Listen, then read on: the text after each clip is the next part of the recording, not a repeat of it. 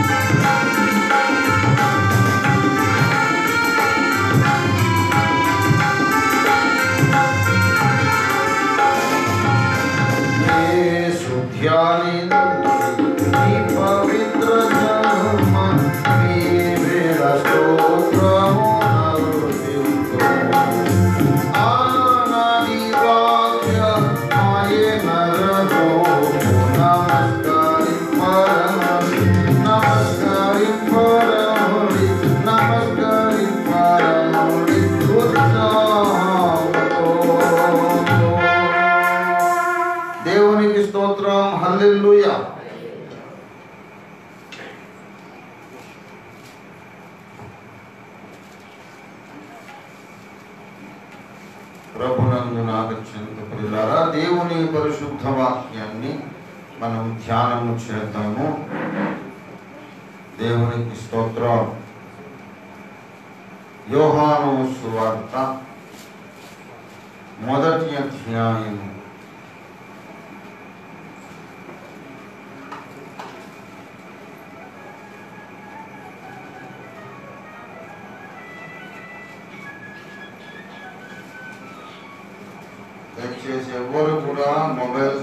చేయకండి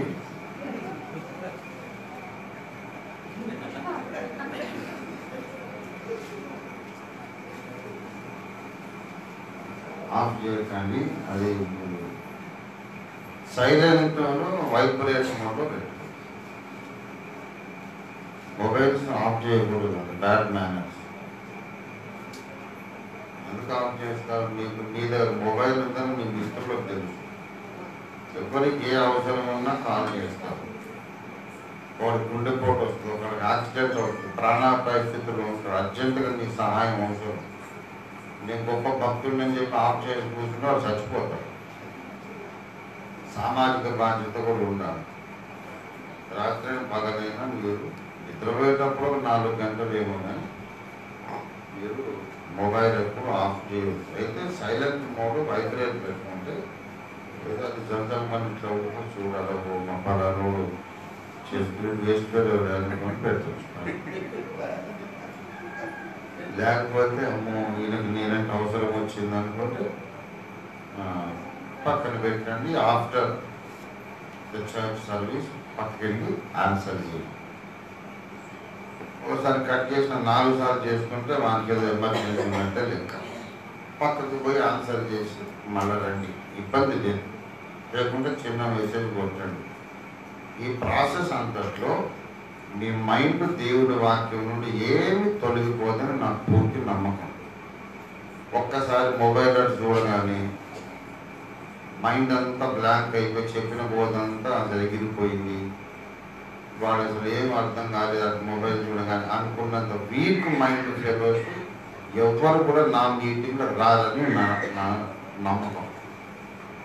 మన దగ్గరకు వచ్చేటోళ్ళందరూ మంచి మేధావులు వస్తారు. మేధావులు కాకుండా వేరే మీటింగ్స్ పోతారు ఇక్కడికి ఎందుకు వస్తారు? ఇక్కడ నన్ను ఎంకరేజ్ చేసుకున్నామని ఇట్లా అంటున్నాం మీరు ఏం అనుకోకండి. దేవుని స్తోత్రం. అల్లెల్లో అదే ప్రధాన దయచేసి. దేవుని స్తోత్రం. మంచి యోహాను వార్త మొదటి అధ్యాయం. మొదటి అధ్యాయము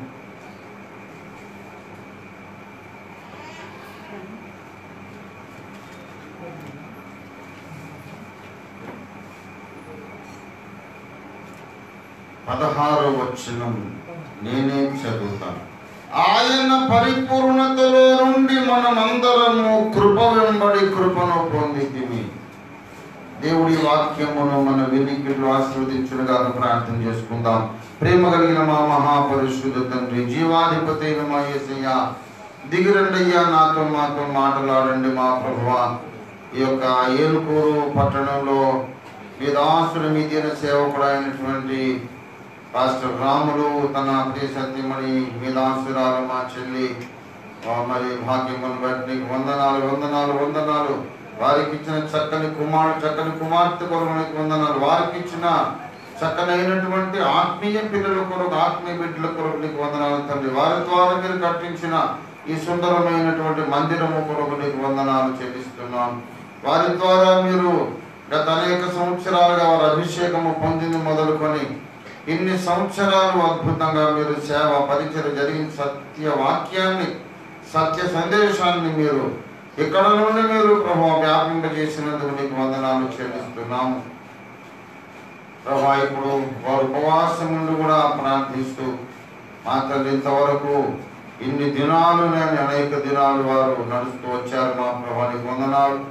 వారు ఉపవాస దీక్ష ఫలింపజేయండి. ఉపవాసం నుండి అడిగిన ఆశీర్వాదాలు దీవెనలు అడిగిన దానికంటే ఊహించిన దానికంటే అత్యధికంగా మీరు కుమ్మరించండి ప్రభా సంఘంలో గొప్ప ఉద్యోగం ఇవ్వండి. నాతో మాతో ఇప్పుడు మాట్లాడండి. ఏ సునామంలో వస్తుంది ప్రార్థిస్తున్నాం తండ్రి. ప్రభునందు నాకు అత్యంత ప్రియులారా క్రిస్మస్ ప్రీ క్రిస్మస్ సంబరాలు. అందులో భాగంగా మనం ఈ సభ జరుపుకుంటున్నాం. ఇక్కడ కూడి ఉన్నటువంటి దేవుని బిడ్డలందరికీ సుదూరాన ఉండి వింటున్న వారందరికీ అవసరమైనటువంటి వర్తమానం మనం వాక్యంలో నుండి పొందుకోవాలని పరిశుద్ధాత్మ దేవుని సంకల్పమైంది కనుక ఈ వచనాన్ని ఆయన చదివించారు. మనము కృప వెంబడి కృప పొందితిమి. మనము మాత్రమే కాదు మనమందరము మనమందరం. అందరము అంటే అందరం. ఒక్కడికి మినహాయింపు లేదు. అందరము కృప పొందాం. గ్రేస్ మార్కులు వేయించుకున్నాం. సరిగ్గా చదువు నెత్తికెక్కకపోయినా దేవుడు నేర్పిన పాఠాలు మనకు ఒంటికి పట్టకపోయినా అబ్బకపోయినా మనం బ్రతుకున్నాము బాగున్నాము. దేవుడు పెట్టిన ప్రతి పరీక్షలో ఫెయిల్ అయ్యాం. అయినా గ్రేస్ మార్కులతో మళ్ళీ ముందు క్లాసులోకి వచ్చేసాం. మనం ఇవాళ బాగున్నామంటే అర్థం ఏంటి? ఎన్నో పరీక్షలలో మనం పాస్ అయ్యామని కాదు. ఎన్నో పరీక్షల్లో దేవుడు మనకు గ్రేస్ మార్కులు వేసాడని అర్థం.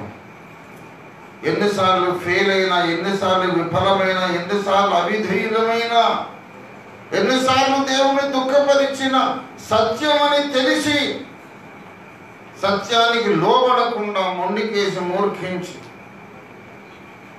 సత్యమునకు దూరంగా నీవు సంచరిస్తున్నప్పటికీ ఎవ్రీ టైం నువ్వు ఫెయిల్ అవుతున్నా సరే దేవుడు నీకు గ్రేస్ మార్కులు పోండి బ్రతకని పోండి బ్రతకని పోండి బ్రతకని అని ఇప్పటిదాకా నేను ఆరోగ్యంగా సజీవునిగా నిలబెట్టాడు సజీవురాలిగా ఈ భూమి మీద నిలబెట్టాడు. వందల సార్లు వేల సార్లు దేవుణ్ణి దుఃఖపరిచాం.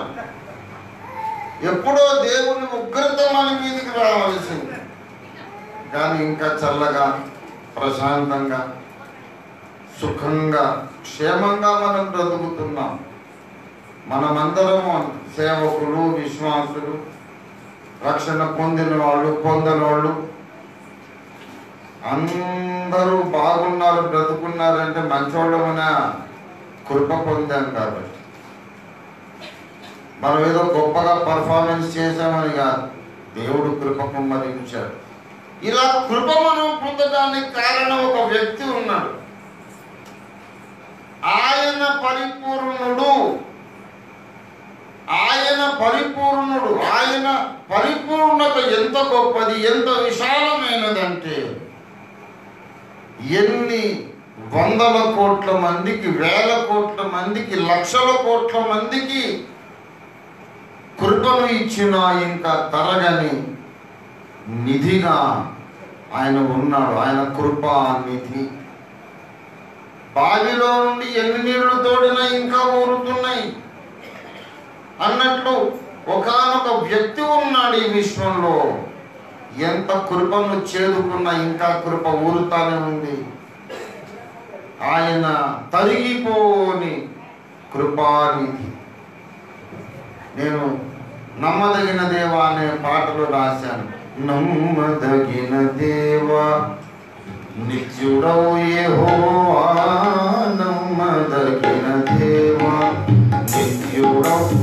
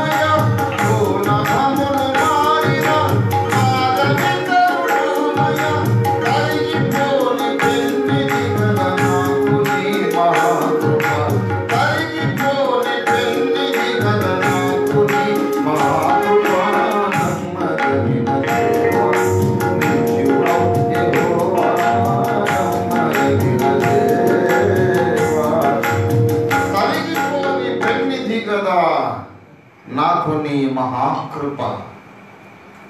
ఆయన పరిపూర్ణతలు ఉనండి విశ్వసించిన వారు విశ్వసించని వారు సువార్తకు లోబడిన వారు లోబడకుండా అవిధేయులుగా సంచరిస్తున్న వాళ్ళందరూ బ్రతికిపోతున్నారంటే ఆయన కృప.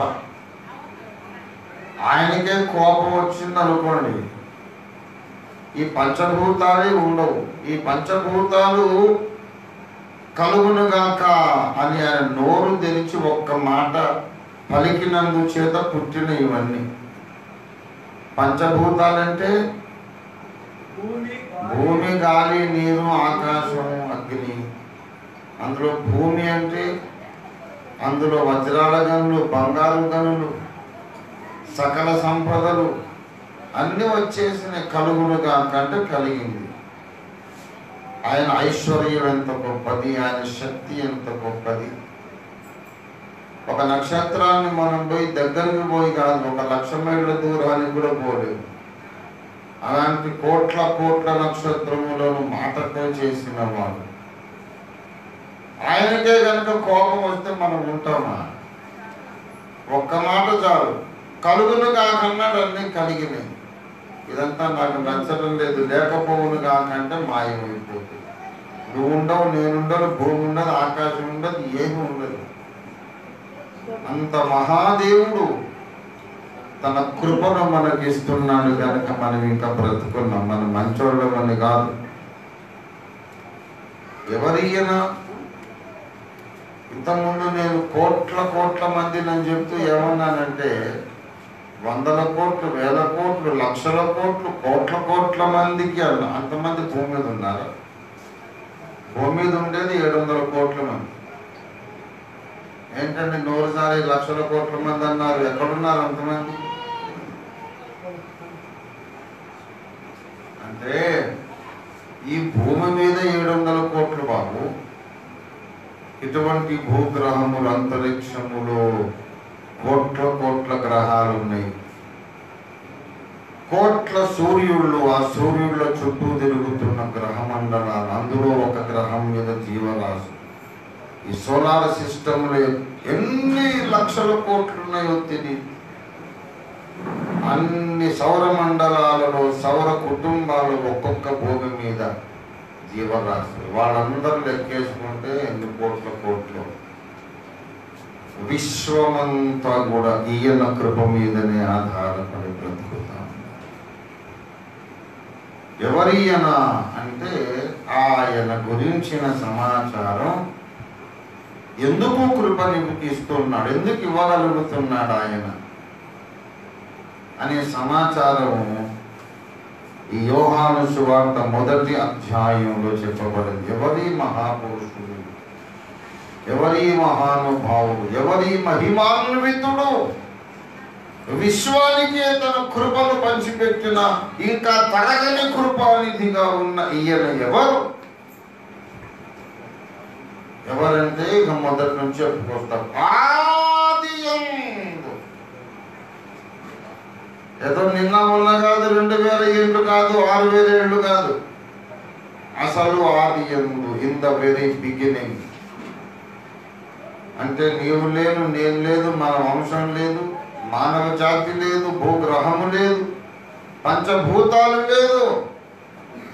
విశ్వంలో ఏమీ లేదు. ఒక ఎలక్ట్రాన్ లేదు ఒక అణువు లేదు పరమాణువు లేదు. అప్పుడు ఏమి ఉండేను అంటే వాక్యం ఉండేను. మన సనాతన ధర్మం కూడా అదే చెప్పింది. ఏంటంటే దేవతలు రాక్షసులు లేకముందు. నవబ్రహ్మలు లేకముందు త్రిమూర్తులు లేకముందు పంచభూతాలే లేకముందు ఏముండెను అంటే ప్రణవము అనే ఒక దివ్య నాదము ఉండెను అది దేవుని స్వరూపం సుమధురమైన మనోజ్ఞమైన ఓం అనే నాదము ఉండెను అని మన భారతీయ సనాతన ధర్మం చెప్పి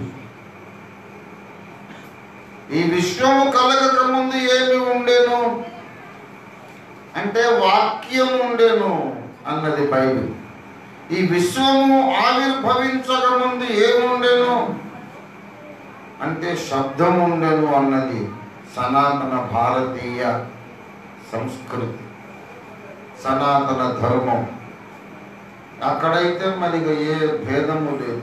ఇక్కడ విదేశీ మతము స్వదేశీ మతం అనే గొడవలు అక్కర్లేదు అసలు ఏ దేశం లేకముందు ఈ భూగోళం లేకముందు నా కేసు మాట్లాడుతున్నాను ఇండియా లేదు అమెరికా లేదు అసలు భూమి లేదు. భూమి లేకపోతే అమెరికా ఎక్కడిది ఇండియా ఎక్కడిది? భూమి లేకముందు పంచభూతాలు లేకముందు నాద బ్రహ్మము ఆయన ఆ నాదము దేవుడై ఉండేనని బైబిల్ చెప్తుంది. దేవునికి స్తోత్రం కలుగును కాక శుక్ల యజుర్వేదం చెప్తా ఉంది అతడే శబ్దము అతడే బ్రహ్మ అతడే కాలము అతడే బలము అతడే జలము అతడే సూర్యుడు అతడే వీర్యము అతడే యజ్ఞము. శబ్దం అతడు అతడు శబ్దము శబ్దము అనే ఒకడు గలడు. వేదములో రాయబడిన విషయం. ఆది ఎందు వాక్యం ఉండను అంటే వాక్యము అంటే ఒక చప్పుడు కాదు. చెంబో చెంబు ఒక ఏదో ఒక ప్లేట్ కింద పడితే టంగ్ సౌండ్ వస్తుంది. ఆది ఎందు ఒక సౌండ్ ఉండేనని కాదు. శబ్దం అనేది ఆయన పేరు. కానీ ఆ శబ్దము దేవుడై ఉండేను.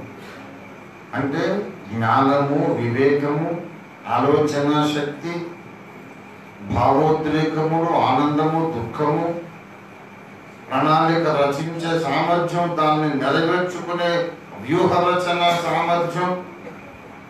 ఒక మనిషిగా మనకెన్ని ఉన్నవో అన్ని వ్యక్తిత్వ లక్షణాలు కలిగిన ఒక ఆయన ఉండెను. ఆయన పేరు శబ్దము. దేవుని బిడ్డారా శబ్దం అంటే కొంతమంది పేరు పెట్టుకుంటారు. మన అబ్బాయి వచ్చాడు నీ పేరంటే కొండలు సారా ఎన్ని అని అడిగారు అంటే ఎన్ని లేదు సార్ లెక్కలేదు సార్ కొండలు రావు సార్ మరి కొండగారు పండగారు మనిషి ఒక అమ్మాయి వచ్చింది. పేరు ఏంటంటే నా పేరు స్వర్ణలత. స్వర్ణలత అంటే బంగారు మనిషి ఆమె. ఇంకొకడు వచ్చాడు బంగారయ్య అంటే బంగారయ్య అంటే అదే బలేదు ఎన్ని కిలోల బరువును? అంటే నేను అరవై కిలోలు ఉంటాను సార్. అంటే అరవై కిలోల బంగారం. వీళ్ళు కోసుకొని తలా కాస్త ఒకడు ముక్కు పొడుక చెవులకు రింపులు మెడకు నెక్లెస్ వడ్డాను నేను చేతికి బ్రేస్లెట్ చేసుకున్నామంటే కుదురుతుందా? పేరుకు బంగారం కానీ ఆయన ఒక మనిషి. ఈమె పేరుకు బంగారం తీగ కానీ ఈమె ఒక మనిషి. వాడి పేరుకు కొండలు కానీ వాడు ఒక మనిషి. ఈమె పేరుకు శబ్దం కానీ ఆయన ఒక వ్యక్తి. దేవుడి స్తోత్రం కలగలుగా చాలా మంది ఆది అందు వాక్యం అంటే సప్పుడు ఉండేది అనుకుంటున్నారు. సప్పుడు ఉండేది సపరేట్ ఉండదు సార్. అప్పుడు చేసిన ఒకరు ఉండాలి కదా. తప్పుడు ఉండేది కాదు. అక్కడ పప్పులో కాలేశారు అందరూ. ఆది ఎందు శబ్దం ఉండదు. మరి శబ్దం అయిన పేరు ఎందుకు వచ్చింది? ఆ పేరులో కూడా ఒక అర్థం ఉన్నది. దానికి ఒక కారణం ఉన్నది. ఆది ఎందు దేవుడు అనేక స్వయం స్పృహ కేంద్రములు కలిగిన వాడి ఉంది ఒకటిలోని అహం అహం అహం అహం అహం అహం బ్రహ్మ అహం బ్రహ్మ అహం బ్రహ్మ అనేవి కోట్ల కోట్ల కోట్ల కోట్ల కోట్ల స్వరములు వ్యక్తిత్వ కేంద్రాలు స్వయం స్పృహ కేంద్రాలు సెల్ఫ్ కాన్షియస్నెస్ సెంటర్స్ నేను దేవుడను నేను దేవుడును నేను దేవుడును నేను దేవుడు అహం బ్రహ్మ అహం బ్రహ్మ అనే స్వరాలు కోట్లు కోట్లు కోట్లు కోట్లు ఉన్నాయి. బహుళ వ్యక్తిత్వములు. ఒక బత్తాయి పండులో పదకొండు పన్నెండు తొలలు ఒక్కొక్క తొలలో మళ్ళీ రసం తిప్పులు కొన్ని వందలు ఉంటాయి.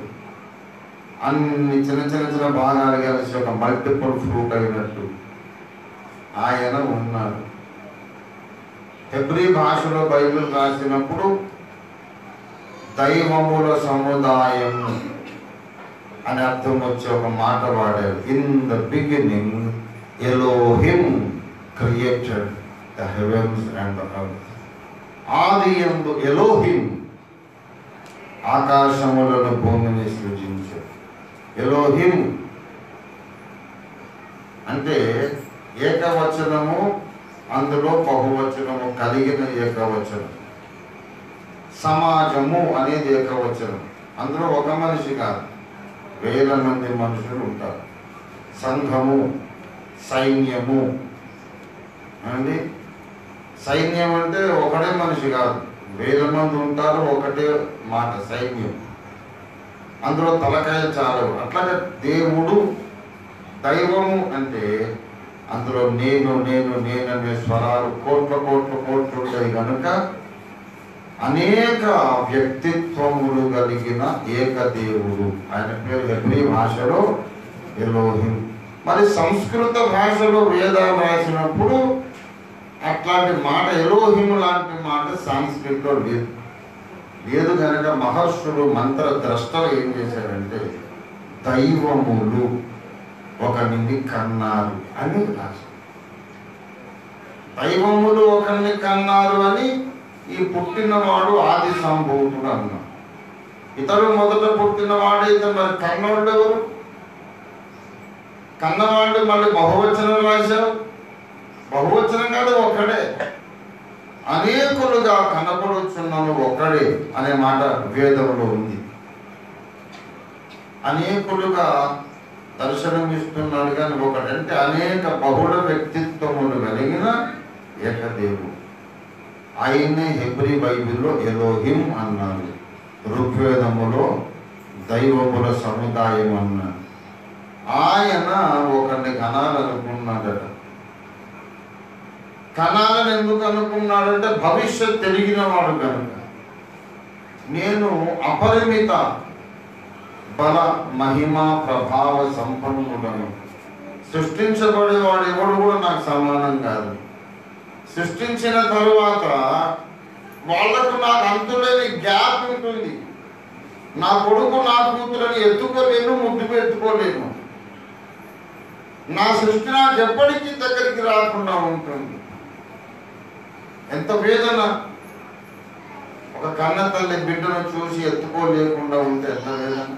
నా బిడ్డ దాన్ని ముద్దు పెట్టుకోలేని పరిస్థితి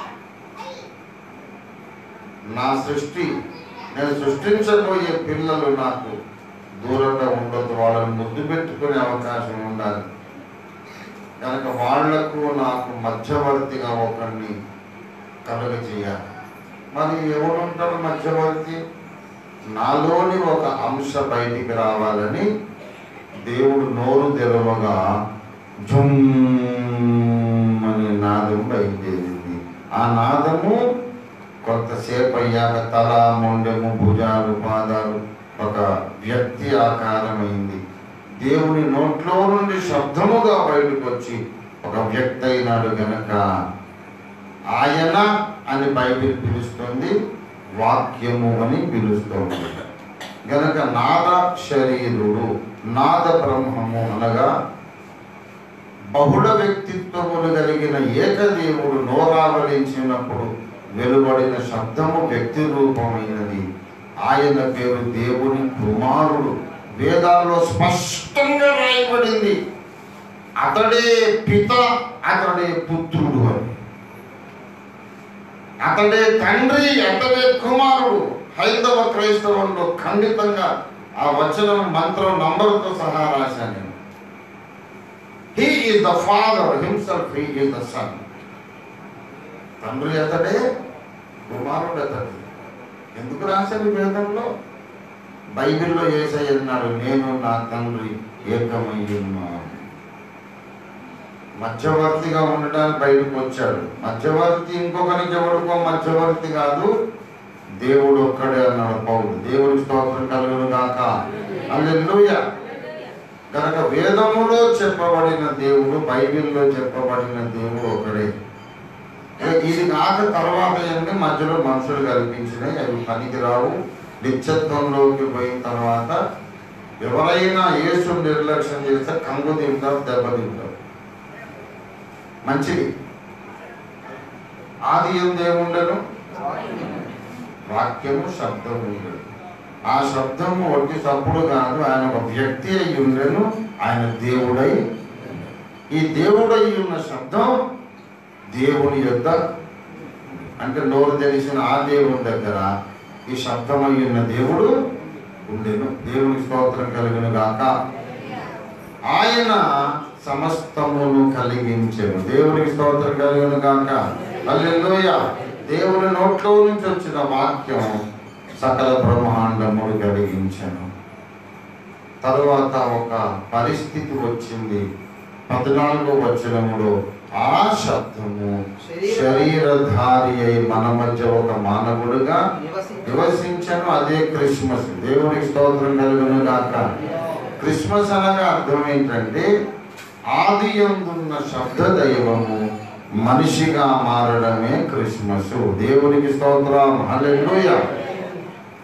క్రిస్మస్ నాడు ఎవరు పుట్టారంటే నాద బ్రహ్మము మనుషుల మధ్యలోకి మానవాకారములో వచ్చాడు. స్వామి వివేకానందుల వారు కూడా ఇదే చెప్పాడు హిందువులమైన మేము దీనిని ప్రణవమనియు మాయ అనియు ఓంకారమనియు నాద బ్రహ్మమనియు స్వర బ్రహ్మమనియు పిలుచుచున్నాము.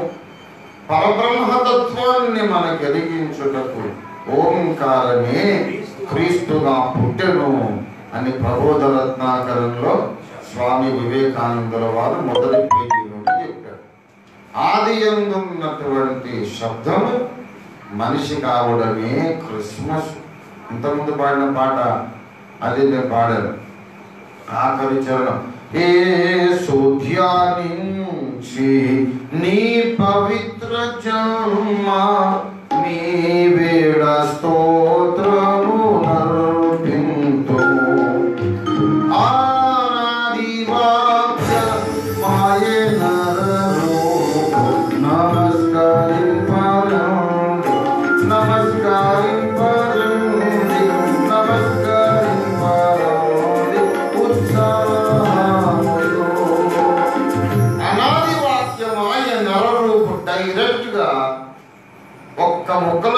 చెప్తారు చరిత్ర ఆది కంటే ముందున్నది అనాది.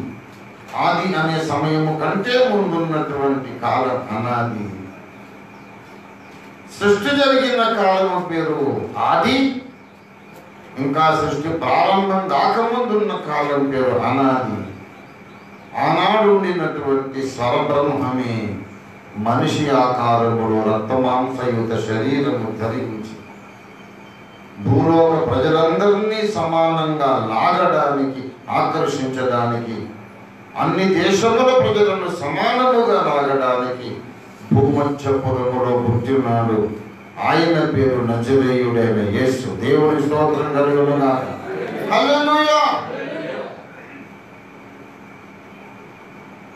అక్కడ ఎందుకు పుట్టాను అక్కడ పుట్టాడు కనుక నాకు నాకు నా దేశంలో పుట్టితే కావాలి. అని వాళ్ళను ఏమన్నా మహా మేధావులను అన్నా లేకుంటే పచ్చి మూర్ఖులను అన్నా అన్నలే మూర్ఖులని అన్నాను. అనాలి అనాలి అనిపిస్తుంది కానీ అనడం లేదు నేను ఎందుకంటే అక్కడ కొడితే నాకు నా దేశంలో కొట్టాలంటున్నాం కదా. సూర్యుడు ముందు ఇండియాలో ఉదయించడం లేదు జపాన్లో ఉదయించడం అక్కడ ఉదయించిన తర్వాత ఇండియాకు వస్తాం తెలుసా? Japan is the land of the rising sun. భూమండలంలో ఫస్ట్ సూర్యకిరణం జపాన్ మీద పడుతుంది తర్వాత మెల్ల మెల్ల మెల్లగా పడవలకు వస్తూ వస్తూ ఇండియా మీదకి వస్తే తర్వాత అమెరికా కూడా పోతుంది. ముందు నా దేశంలో ఉదయించడం లేదు కనుక ఈ సూర్యుడు నాకు వద్దంటే ఎందుకు అనడం లేదు? ఎందుకు పొద్దున్న లేచి నమస్కరిస్తున్నావు మరి. నువ్వు నమస్కరించే సూర్యుడు కూడా ముందు భారతదేశం మీద అవతరించడం లేదు. వేరే దేశంలో నుండి ఇక్కడికి వస్తున్నాడు. నీతి సూర్యుడైన యేసు కూడా అట్లాగే వేరే దేశంలో పుట్టి ఈ దేశం దాకా వచ్చాడు. దేవుని స్తోత్రం ఆ దేశంలో పుట్టిన నాకొద్దని చెప్పి నీ దేవుణ్ణి పట్టుకుని ఎందుకు అమెరికాలో ప్రకటిస్తున్నావు? తప్పు కాదా మరి ఏ దేశంలో దేవుడు ఆ దేశానికి ఉండాలంటే అక్కడ పోయి చెప్పుకుంటున్నారు మరి? ఇది అందుకే పచ్చి మూర్ఖుడని అనాలి న్యాయమైంది కానీ అంటలేము మంచోళ్ళే వాళ్ళు అనుభూతి అవుతుంది అని అంటాడు ఎందుకంటే పరిశుద్ధ స్థలంలో చూస్తున్నాం దేవుడు అనే క్వశ్చన్ వచ్చినాక ఆయనకు దేశము భాష ఎల్లలు అనేవి ఉండవు. దేవుడు అంటే సూర్యుడు అనుకోడు ఇండియాకు పాకిస్తాన్కు ఫ్రెండ్షిప్ ఉండొచ్చు శత్రుత్వం ఉండొచ్చు. యుద్ధాలు జరగవచ్చు మళ్ళీ సమాధానం పడవచ్చు కానీ అన్ని పరిస్థితుల్లోనూ పాకిస్తాన్కి ఇండియాకు సూర్యుడు ఒక్కడే. చైనాకు రష్యాకు అమెరికాకు ఇజ్రాయెల్ అరబ్బులకు మనకు సూర్యుడు ఒక్కడే. అన్ని దేశాలకు నీతి సూర్యుడైన క్రీస్తు ఒక్కడే. దేవుడి స్తోత్రం. కనుక ఆయన శరీరధారి ఆయనను ఎందుకు ఆయన చెప్పి ముగించేస్తాం. ఎల్లప్పుడూ మనం సంతోషంగా ఉండాలని ముందే చెప్పినాను నేను. ఎప్పుడెప్పుడు సంతోషంగా ఉండాలా? అంటే ఎప్పుడెప్పుడు? ప్రసంగము తొందరగా ముగించినప్పుడు సంతోషంగా ఉండాలా? ఆలస్యమైనప్పుడు కూడా సంతోషంగా ఉండాలి. దేవుడి స్తోత్రం. హల్లెలూయా. ఎందుకు అంత పెద్ద నాద బ్రహ్మము మనిషి అయి పుట్టినాడంటే నీ కొరకు నా కొరకు యజ్ఞమగుట కొరకు.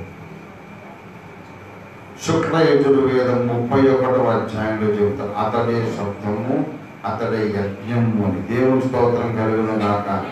అతడే యజ్ఞం అంటే బలి పశువు అన్నమాట. అందుకే ఆది ఎందుండిన నాద బ్రహ్మము మనిషై పుట్టినాక ఇదే యోహాను సువార్త ఒకటి ఇరవై తొమ్మిదిలో. బాప్తిస్మమిచ్చు యోహాను అనే మహర్షి దీర్ఘదర్శి చెబుతున్నాడు. ఇదిగో లోక పాపాలను మోసుకొని పోయే దేవుని గొర్రెపిల్ల దేవునికి స్థుతి కలుగును కాక హల్లెలూయా. క్రిస్మస్ అంటే ఏంటో నేను చెప్తున్నా. మూడు ముక్కలు. క్రిస్మస్ అంటే ఆది అందున్న నాదము. మానవుడుగా పుట్టడమే క్రిస్మస్. సర్వ మానవ కోటి కొరకు పాప పరిహారము కొరకు బలి పశువు పుట్టడమే క్రిస్మస్. దేవునికి స్తోత్రం కలుగును జాతి ఇంకా చాలా మంది మహానుభావులు పుట్టారు కానీ ఎవరు మానవ జాతి కొరకు బలి కాలేదు అయినా ప్రయోజనం లేదు. ఎందుకంటే పాపము లేకుండా పరిశుద్ధముగా జన్మించినటువంటి వ్యక్తి మానవ చరిత్రలో యేసు ఒక్కడు మాత్రమే. దేవుడి స్తోత్రం కలిగిన నీలాగా నాలాగా అమ్మ నాన్నకు పుట్టినోడు వాడిలో కూడా ఆదాం రక్తం ఉంటుంది. వాడే పాపి ఇక నా కొరకేమో క్షమాపణ ఆయనకే రక్షకుడు కావాలి. తల్లిదండ్రికి పుట్టినోడు వాడే పాపి ఆదామ రక్తం ఉంది వాడిలో ఆదామ పాపం ఉంది. అతడికే రక్షకుడు కావాలి. నన్నేం రక్షిస్తాడు? నన్ను రక్షించాలంటే నాలాగా గుర్తుండకూడదు మానవాతీతంగా పురుష ప్రమేయం లేకుండా కన్యకు పుట్టిన ఈయన మాత్రమే లోక రక్షకుడు. దేవుని స్తోత్రం కలిగిన అందుకే మనం పండగ చేసుకుంటున్నాం. అది ఎందరో మహానుభావుడు ఎందరో మహానుభావుడు. ఒక ఏసే కాదండి అంటారు. అవును మహానుభావుడు ఎందరో రక్షకుడు మాత్రం ఒకరు దేవుని స్తోత్రం. మొత్తం అందుకే నువ్వు చెప్పుకున్న మహానుభావులు ఎవరికి కూడా రెండు వందల దేశాలలో పండుగ చేసుకోరు. ఒక ఏసైకి ఆయన బర్త్డే మొత్తం రెండు వందల దేశాల్లో జరుపుకుంటారు. దేవుని స్తోత్రం. ఇది నా సవాల్. ఎవరైనా ఒక మనిషి ఉన్నాడా? ఒక అవతార పురుషుడు ఉన్నాడా? రెండు వందల దేశాలలో ఆయన బర్త్డే చేసుకునేవాడు గొప్ప ఉన్నారా ఎవరైనా? యేసుతో ఎవరిని పోల్చొద్దు సమానం చేయొద్దు. వీళ్ళందరూ మనతో మానవ జాతి కుటుంబ సభ్యుని మహానుభావులందరూ. యేసు మాత్రము వీళ్ళందరికీ అతీతుడు ఆకాశము కంటే మించిన వాడు దేవుడి స్తోత్రం హల్లెలూయా. కనుక ప్రభు యేసునందు విశ్వాసముంచుము నీవు నీ ఇంటి వారు రక్షింపబడతారు. అరే ఇదివరకే నమ్ముకున్నాం కదా సార్ మమ్మల్ని కూర్చోబెట్టి నమ్ముకోమని చెప్తావేంటి? అని కోపడకండి. మీరు నమ్ముకున్నారు కదా ఈ మాట పట్టుకొని ఇంకొకటి చెప్పండి. దేవుని స్తోత్రం కలుగును ఇదిగో సర్వలోకమునకు కలగబో మహా సంతోషకరమైన సువర్తమానము నేను మీకు ఎవరికి సంతోషము? ఎవరి కొరకు సువర్తమానం? మనుషులందరికీ ప్రజలందరికీ కలగబోయే సంతోషం. ఎవరికి తెలియజేస్తాం? మీకు. అందరికీ కలిగే సువర్తమానం అందరికీ చెందిన మాటలు చెప్తున్నామంటే అందరికీ అవసరమైన వర్తమానం ఒకరికి అందించడము దేవుని పద్ధతి. ఒక్కడు పట్టుకుపోయి అందరికీ చెప్పాలి. దేవుని స్తోత్రం కలుగును కాక అల్లెలోయ కనుక ఎప్పుడునూ ముందున్న నూతన సంవత్సరం మిగిలిన మన జీవిత కాలం అంతా ప్రజలందరి కొరకు యజ్ఞ పశువు పుట్టడమే. దేవుడే యజ్ఞ పశువుగా పుట్టడం. క్రిస్మస్ పండుగ అని అందరికీ చెబుతూ మన మిగిలిన జీవితాన్ని మనం ధన్యకరముగా గడుపుకుందాం. దేవుడి వాక్యమును మన వినికిలో ఆశీర్వదించి పరిపడినగాక ముగింపు ప్రాంతం ఆశీర్వాదం అవునా? ముగింపు చేశాక ఆ? ప్రార్థన. స్తోత్రమునైన ప్రేమ కలిగిన మా మహాపరిశుద్ధత దివ్య వాక్యం పంపించిన స్తోత్రం ఈ వాక్యం నాలో మాలో పాలింపజేయండి. అందరితో మాట్లాడండి. యేసు ఎవరు అన్నటువంటి అద్భుత పారమార్థిక సత్యాన్ని ప్రపంచములకు చాటిస్తూ మా బ్రతుకులు ధన్యం చేసుకునే కృపరాచి వేస్తున్నామలో స్థుతించి ప్రార్థిస్తున్నాం. మంచిది.